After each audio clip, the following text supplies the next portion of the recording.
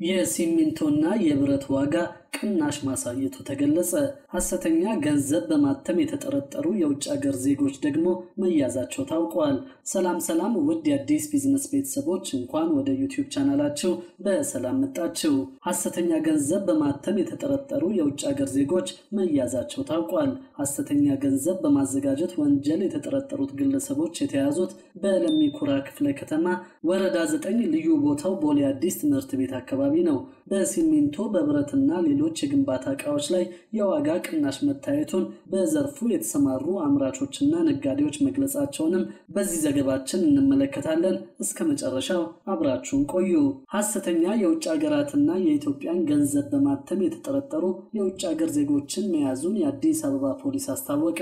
ሐሰተኛ ገንዘብ በማዘጋጀት ወንጀል የተጠረጠሩት ግለሰቦች የተያዙት በለሚ ኩራ ክፍለ ከተማ ወረዳ ዘጠኝ ልዩ ቦታው ቦሌ አዲስ ትምህርት ቤት አካባቢ ነው። የውጭ ሀገር ዜግነት ያላቸው ሶስቱ ግለሰቦች ሙሉ ግቢ የመኖሪያ ቤት በመከራየት ሐሰተኛ ብርና የውጭ ሀገር ገንዘቦችን በማተም እንደሚያሰራጩና የከበሩ ማዕድናትን በሕገ ወጥ መንገድ እንደሚያዘዋውሩ የአዲስ አበባ ፖሊስ ባደረገው ክትትልና ባሰባሰበው ማስረጃ አረጋግጧል። ሕጋዊ አሰራሩን ተከትሎ በተደረገ ብርበራ ተጠርጣሪዎቹ ሐሰተኛ ገንዘቦችን ለማዘጋጀት የሚገለገሉባቸውን መሳሪያዎች፣ ልዩ ልዩ ኬሚካሎችን፣ በሐሰተኛ መንገድ የታተሙ ገንዘቦች፣ በገንዘብ ልክ ተቆራርጠው የተዘጋጁ ወረቀቶችን እንዲሁም የዘንዶ ቆዳዎችን በኤግዚቢትነት መያዙን የአዲስ አበባ ፖሊስ አስታውቀዋል። ተጠርጣሪዎቹ ሐሰተኛ ገንዘብ ከማዘጋጀት በተጨማሪ የጸና የመኖሪያ ፍቃድ ሳይኖራቸው እየኖሩ ያሉና በሕገ ወጥ መንገድ የከበሩ ማዕድናትን እንደሚያዘዋውሩ በምርመራ ማረጋገጡን ጠቅሷል። ፖሊስ የምርመራ መዝገብ በማደራጀትና በማጠናቀቅ ለሚመለከተው የፍትህ አካል በመላክ ክስ መመስረቱን የአዲስ አበባ ፖሊስ መረጃ ያመለክታል። ከዚህ ቀደም በአዲስ አበባ በተለያዩ ክፍለ ከተሞች ውስጥ በተመሳሳይ መንገድ ሐሰተኛ ገንዘቦችን ሲያትሙ የተገኙ ግለሰቦች እንደተያዙ፣ መሰል የወንጀል ድርጊቶች በሀገር ኢኮኖሚ ላይ ከፍተኛ ጉዳት የሚያስከትሉ በመሆኑ ወንጀሉን በመከላከልና ህገወጦችን ተጠያቂ የማድረግ ተግባሩን አጠናክሮ እንደሚቀጥል አስታውቋል።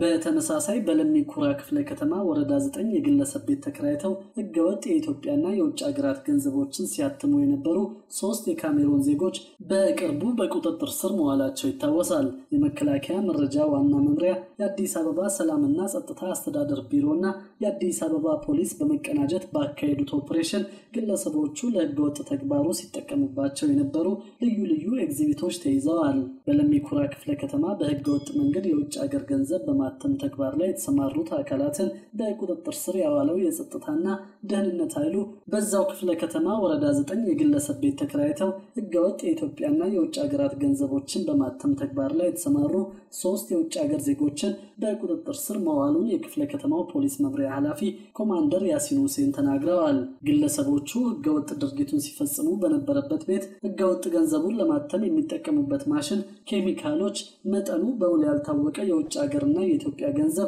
ታትመው ለመሰራጨት የተዘጋጁ ህገወጥ ገንዘቦች፣ ህገወጥ ገንዘቡን ለማተም የተዘጋጁ የተለያየ ቀለም ያላቸው ወረቀቶችን ጨምሮ የተለያዩ ኤግዚቢቶች በቁጥጥር ስር መዋላቸውንም ነው ኮማንደር ያሲን ሁሴን የተናገሩት። በአቃቂ ቃሊቲ፣ የካ፣ ንፋስ ስልክ ላፍቶ፣ ጉለሌና አራዳ ክፍለ ከተሞች ደግሞ ሐሰተኛ ሰነዶችን በመስራት ተግባር ላይ የተሰማሩ አስር ግለሰቦች በቁጥጥር ስር ውለዋል። ተጠርጣሪዎቹ ሐሰተኛ ሰነዶችን በማዘጋጀትና በማሰራጨት እንዲሁም የተለያዩ ወረዳዎችንና ክፍለ ከተሞችን ተቋማት ማህተሞችና የኃላፊዎችን ቲተሮች አስመስለው በመስራት ሐሰተኛ የመንግስትና የግል ትምህርት ተቋማት ማስረጃዎችን፣ የመሬት የይዞታ ማረጋገጫ ካርታዎችን፣ ሐሰተኛ የከተማ አስተዳደሩን የነዋሪነት መታወቂያዎችን፣ የልደት ሰርተፊኬት እንዲሁም የውጭ ጉዳይ ሚኒስቴር ማረጋገጫ ማህተምና ቲተርን አዘጋጅተው ሲያሰራጩ በቁጥጥር ስር መዋላቸውን ነው የፖሊስ መረጃ የሚያሳየው። የመከላከያ መረጃ ዋና መምሪያ፣ የአዲስ አበባ ሰላምና ጸጥታ አስተዳደር ቢሮና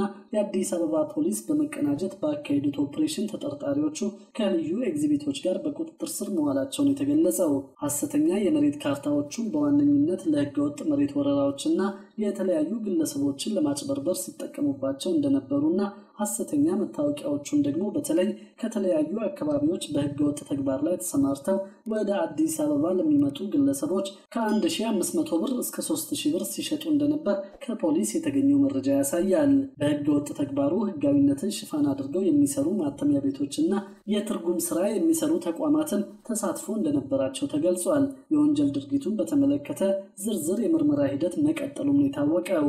በሌላ መረጃ ደግሞ የሲሚንቶና የብረት ዋጋ ቅናሽ ማሳየቱ ተመለከተ። በሲሚንቶ በብረትና ሌሎች የግንባታ እቃዎች ላይ የዋጋ ቅናሽ መታየቱን በዘርፉ የተሰማሩ አምራቾችና ነጋዴዎች ገልጸዋል። ፋና ብሮድካስቲንግ ኮርፖሬት በተለያዩ የሲሚንቶና የብረት ማምረቻ ፋብሪካዎችና የንግድ ሱቆች ላይ ተዘዋውሮ ምልከታ አድርጓል።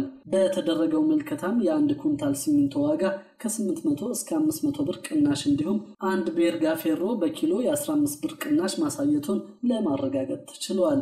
የሲሚንቶና ብረት ግብይት በሚደረግባቸው አካባቢዎች በተደረገው ምልከታም የሲሚንቶ የብረትና ሌሎች የኮንስትራክሽን እቃዎች ቅናሽ ማሳየታቸውን ለማረጋገጥ ተችሏል። ቀደም ሲል ግብይቱ በንግድና ቀጠናዊ ትስስር ሚኒስቴር ተመን ወጥቶለት ሲሸጥ የቆየ ቢሆንም ከታህሳስ ወር 2015 ወዲህ ግን በነፃ ገበያ መርህ ፋብሪካዎች ባቀረቡት ዋጋ ግብይት መካሄድ መቀጠሉን በቅኝቱ ለማወቅ ተችለዋል።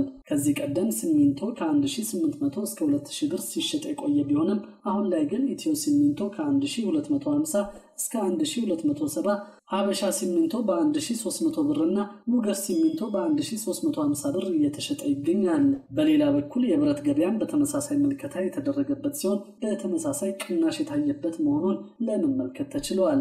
ለአብነትም 10 ቤርጋ ብረት 1322 ሲሸጥ የቆየ ሲሆን አሁን ላይ 1036 ብር 14 ቤርጋ ፌሮ ብረት 3412 ብር ይሸጥ የነበረ ሲሆን አሁን 2654 ብር በመሸጥ ላይ ይገኛል። በዘርፉ ላይ የተሰማሩ አምራቾችና ነጋዴዎች የሲሚንቶ የብረትና የሌሎችም የግንባታ እቃዎችን የሚገዙ ሸማቾች ቁጥር መቀነሱንም አመላክተዋል።